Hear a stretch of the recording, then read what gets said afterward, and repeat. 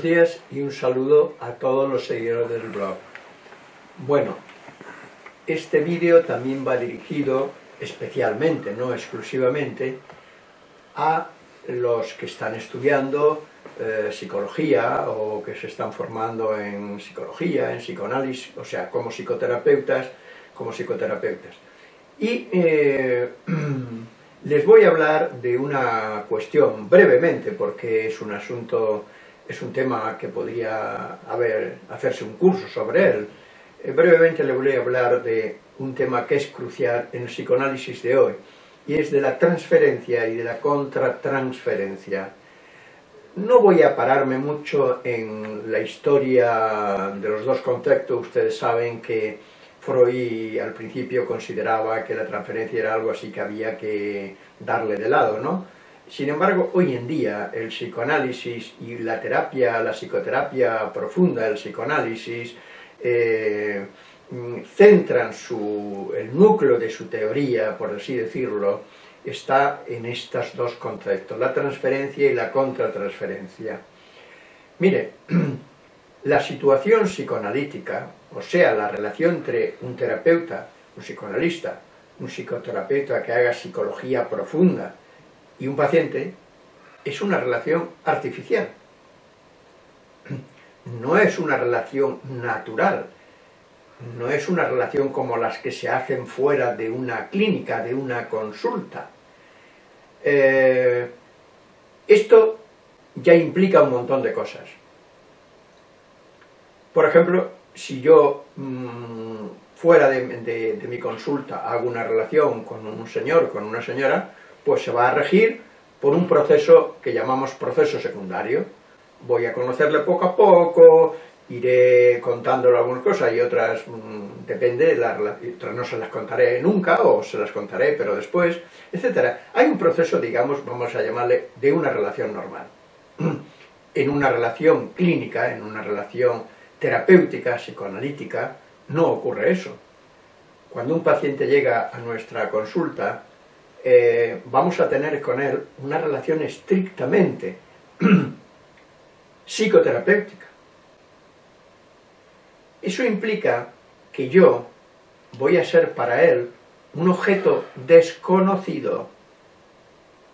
Desconocido quiere decir que él no va a saber nada de mí, a excepción de que soy el terapeuta que le atiende, que él ha elegido, que él ha venido a mi consulta y que yo le voy a atender. Pero él no va a conocer nada de mí. Eh, esto no ocurre en las relaciones normales.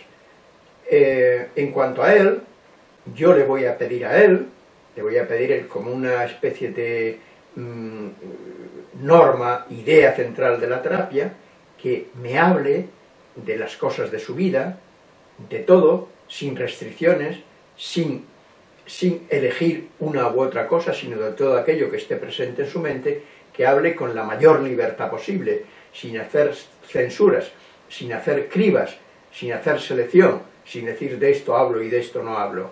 Esto, evidentemente, no ocurre en una relación normal. Una relación normal no se rige por estas reglas.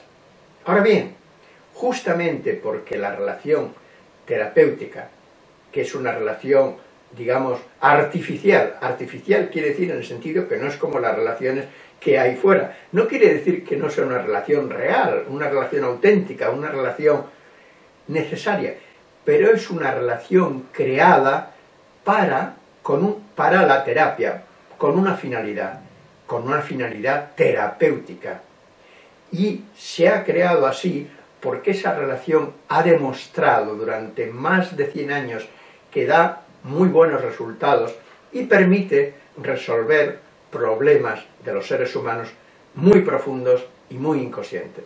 Ahora bien, en esa relación que se crea entre el terapeuta y el paciente, el paciente y el terapeuta, ¿qué ocurre? Imaginemos que han pasado bueno, imaginemos esas primeras sesiones donde el paciente, le pedimos al paciente que nos hable de su vida y que son sesiones, llamémosle, de un periodo para hacer un diagnóstico. Puede ser dos, tres, cuatro, cinco sesiones, normalmente con eso está bien.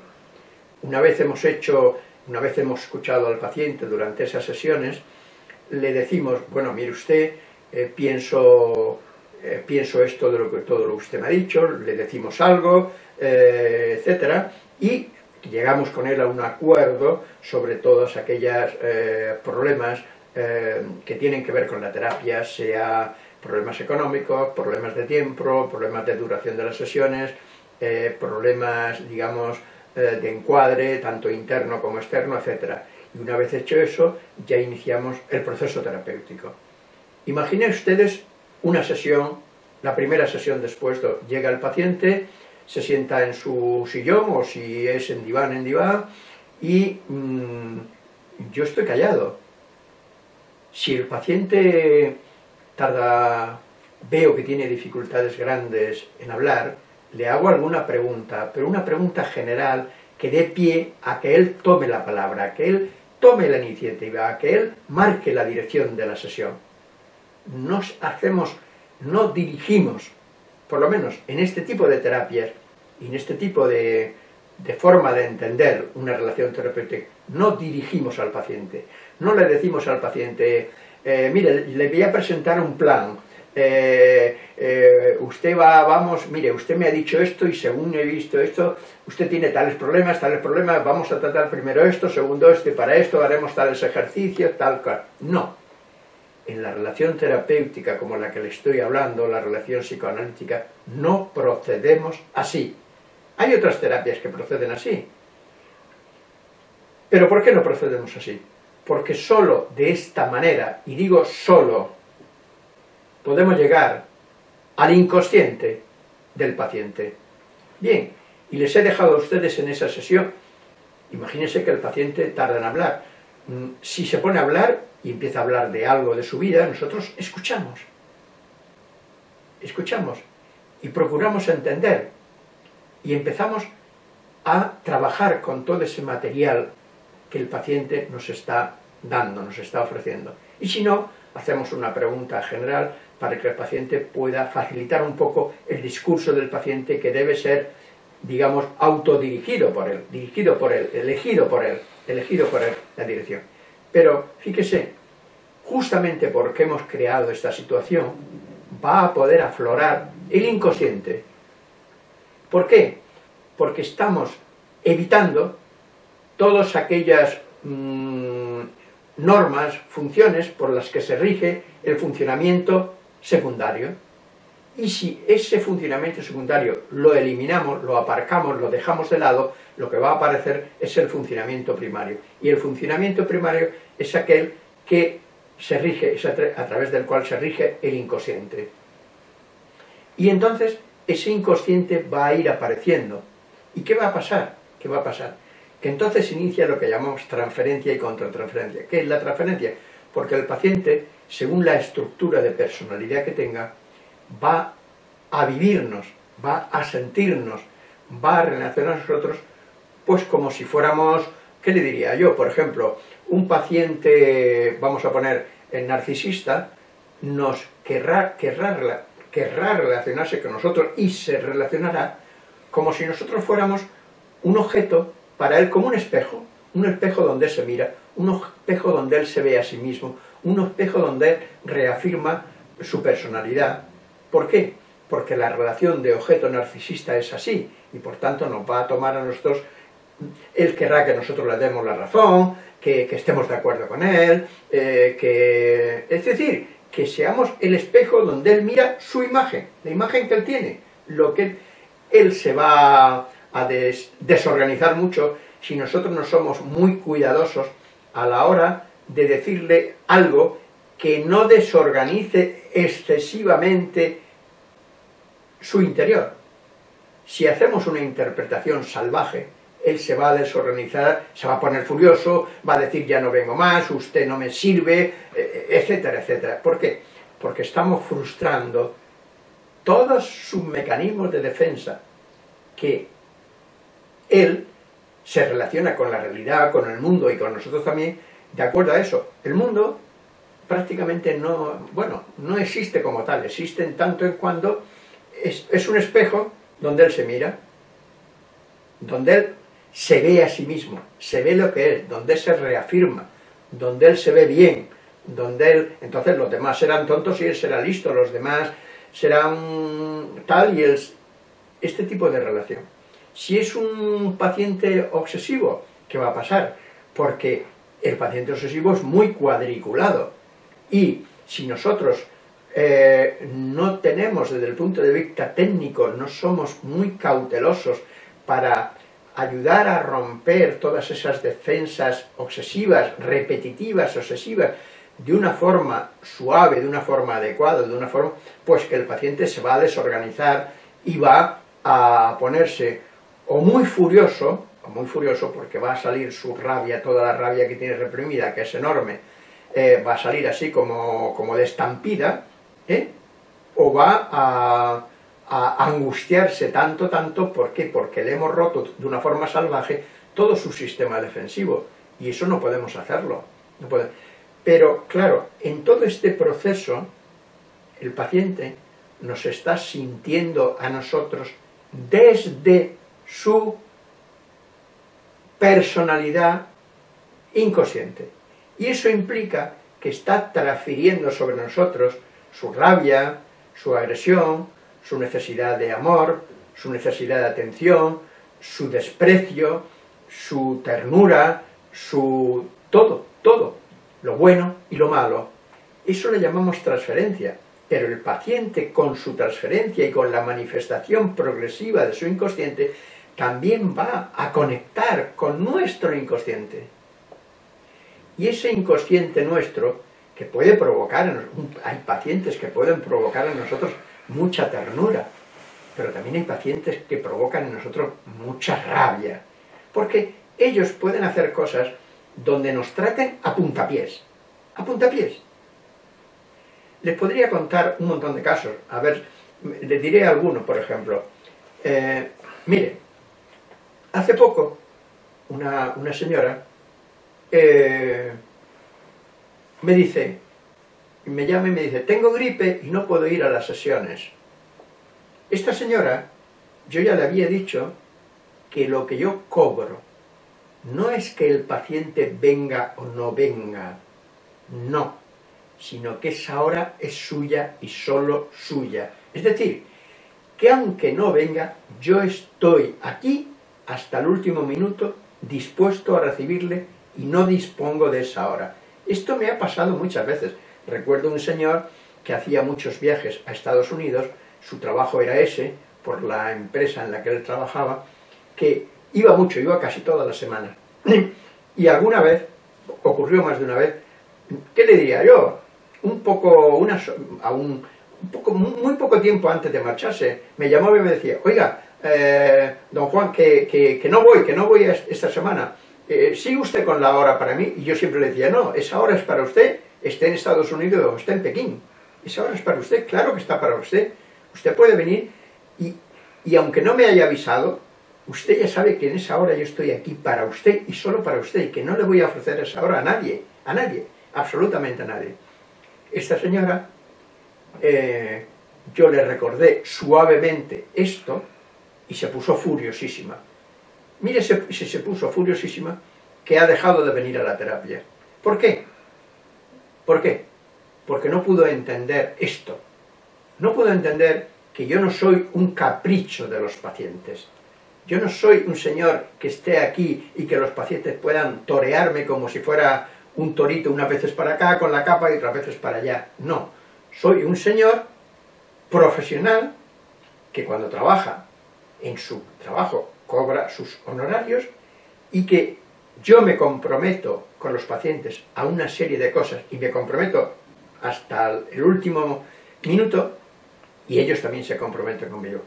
Claro, esto muchas veces la gente no lo entiende. La gente cree que nosotros estamos aquí, pues, así que ellos transfieren, transfieren a nosotros una idea de un padre bondadoso, un señor maravilloso, que lo entiende todo, que lo comprende todo, que es muy bueno y que lo perdona todo. Pues no, no somos eso. Cuando un paciente nos siente así, tiene esa transferencia. Nosotros no hemos de caer en la trampa de aclimatar nuestra contratransferencia a esa transferencia. nosotros hemos de poder analizar la transferencia. La transferencia, como se suele decir, no se actúa, ni la transferencia ni la contratransferencia, es decir, no se actúa, no se actúa con los sentimientos que uno tiene, sino que los analiza, que los analizamos, que intentamos entenderlos, que cuando esta mujer me dice eso, yo le contesto porque estoy entendiendo qué es lo que está pasando y cuál es el sentido de su transferencia. Si después de decirle lo que le dije, esta persona no ha querido venir, pues, ¿qué vamos a hacer? Yo diría peor para ella. Peor para ella porque los problemas que tiene en su vida van a quedar ahí, van a quedar ahí, y ella va a ser una víctima de esos problemas que tiene. Esto lo digo también por si por una de esas ella lo escuchara. Eh, bien, entonces, ¿qué le quiero decir? Dos o tres cosas básicas. Primero, la relación psicoanalítica, la relación psicoterapéutica en psicoanálisis en psicología profunda es una relación artificial creada para que se produzca la relación terapéutica. La relación terapéutica en, en el momento actual tiene dos ejes fundamentales. La transferencia, que es lo que el paciente siente desde su inconsciente hacia el analista, o la contratransferencia, que es lo que el analista siente desde su inconsciente hacia el paciente. Ese juego de inconsciente a inconsciente produce muchas eh, muchas mm, situaciones en las que el otro es vivido no como lo que es, sino, lo que, sino como uno quiere que sea desde su inconsciente. Una vez será una especie de debate en el que yo tiro toda la mm, porquería que llevo dentro y, digo verdaderas barbaridades, puede decir un paciente. Yo me estoy acordando ahora de cuando yo era paciente, fui paciente muchos, muchos años. me acuerdo que yo también tenía a veces una contratransferencia salvaje, una transferencia salvaje, perdón. ¿Eh? Eh, entonces, esas son, es, por eso se rige, por la transferencia y por la transfiere, a partir, que es la expresión, a, través de la transferencia se expresa ese inconsciente del paciente y del terapeuta. Y eso produce que el paciente o el terapeuta sean vividos. Eh, yo puedo, yo puedo sentir a un paciente a veces como, joder, qué tío más maravilloso, qué cosas dice, qué cosas tal, qué cosas cual otra vez puedo sentirlo como, como qué desastre, otra vez, pero mi, mi posición no es nada de, ninguna de esas. Eso lo puedo ver, a veces se me puede ir la contratransferencia, pero mi misión no es eso. Mi misión es siempre una, entender, analizar, crear conocimiento donde hay desconocimiento, ir desde el síntoma a la base, a la causa.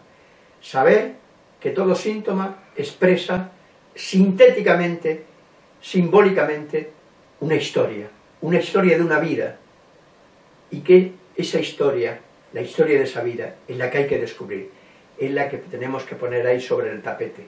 ¿Para qué? Para que haya conocimiento, y que ese conocimiento en el paciente pueda hacer que él pueda dirigir su vida vivir su vida, conocer su vida adecuadamente y poder orientarla bien. Y esto sería una muy breve síntesis de lo que es eh, la transferencia y la contratransferencia. Eh, reacciones transferenciales y contratransferenciales hay de todo tipo. Les he puesto esto a esta señora. Pero mire, otra más. Un día, no, un día, un paciente se enfadó mucho conmigo y se fue a mitad de la sesión. Ah, estoy enfadado porque usted no me sirve para nada, porque usted tal y cual, porque usted no sé qué, porque yo no consigo las cosas que quiero eh, con esto que usted me dice. Y se fue, se marchó a mitad de sesión. ¿Por qué? Porque yo, quizá, fíjese que pienso, después de analizar esta sesión con este paciente, pensé que había cometido con él un pequeño error. Y era que este paciente es un paciente, en este caso, muy con una estructura narcisista, y quizá yo le apreté los tornillos demasiado a la hora de eh, de hacerle ver el problema que estaba teniendo en todo lo que me estaba contando y en la transferencia conmigo. Esto hizo que él se enfadara en exceso, aunque también le puedo decir que la terapia se retomó después, se retomó más tarde. Bueno, y bueno, pues qué decirle más. Eh, por ejemplo, un psicótico, fíjese, una persona psicótica con delirios, va a venir a la sesión y va a empezar a decirnos verdaderas barbaridades. Que le persiguen, que le ha visto por la calle a unos que le han insultado. Todo eso es un delirio. Nadie le ha insultado, nadie le ha dicho nada, nadie le ha mirado mal. Es un ciudadano normal, pero lo vive así. Si yo, si eso que el paciente me dice en su transferencia, yo no sé entenderlo, no sé, eh, no sé comprenderlo, no tengo suficiente conocimiento y suficiente experiencia como para saber qué hacer con eso, le podré decir algo que le ponga muy furioso o que le haga pegarme una torta. Pero yo sé que no se puede deshacer ese discurso diciéndole al paciente, ay, eso que usted dice es una tontería, vaya cosas que, vaya cosas que dices. No, hombre, no, porque eso forma parte eso se ha producido por algo, eso tiene una historia y nosotros tenemos que ayudar al paciente a entender esa historia para que ese delirio se vaya deshaciendo como un terrón de azúcar en un vaso de, café con leche, muy lentamente. Y en eso consiste, para eso está la formación del terapeuta, que tiene que tener siempre una buena, una muy sólida formación. Y todo esto es lo que eh, la esencia de una terapia psicoanalítica profunda que no cree que analizando los síntomas vayamos a resolver el problema. Bueno, si analizamos solo los síntomas, podemos producir a lo mejor un poco de mejoría, un poco de orientación, un poquito de, cosas, pero no hemos creado este tipo de terapia para eso. Freud tuvo la gran, eh, la gran genialidad de darse cuenta que en los seres humanos había algo que llamamos el inconsciente. No es que esto nos, los demás nos hubieran dado cuenta antes, sí, mucha gente se dio cuenta antes. Lo que pasa es que Freud tuvo la genialidad de sistematizarlo, de estudiarlo a fondo y de transmitirnos esos conocimientos eh, sobre la profundidad del ser humano. Y a partir de ahí ya no podemos quitar esto. Eso forma parte ya del saber, de la cultura, de la cultura en este caso de la cultura psicoanalítica, que a su vez forma parte de la cultura general. Y por tanto, aunque haya algunos que dicen, no, es que esto, estos psicoanalistas su, lo que hace es bla, bla, bla, eh, esto no, no, no, sus terapias no, no son empíricas. ¿Qué entenderá esta gente por empírico? ¿Qué entenderá esta gente por científico? ¿eh? entenderá que si llega un paciente y yo le digo, mire usted, como hacen otros, por ejemplo, hacen a esto lo que mucha gente llama empírico.